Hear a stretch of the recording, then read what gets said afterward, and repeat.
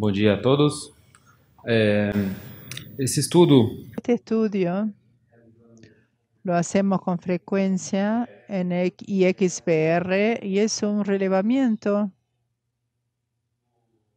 de la diversidad de participantes. conectado em nossa plataforma e mostrar um pouco para vocês dos desafios que isso nos traz. tá?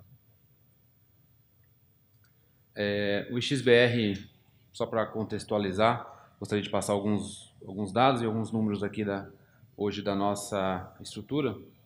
O XBR, é, também conhecido como PTTBR no Brasil, e recentemente a gente mudou de nome, passamos a ser conhecidos também como IXBR, Brasil Internet Exchange.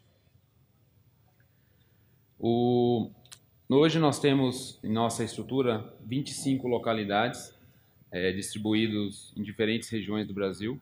Alcançamos todas as, as regiões, as cinco regiões do Brasil. Eh, esse ano foi instalada a, mais recente, eh, hoje é Foz do Iguaçu, foi instalada no começo desse ano.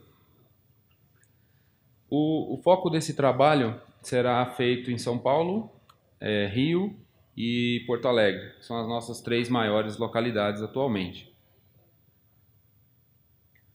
Aqui um, mostra um pouco do, do gráfico de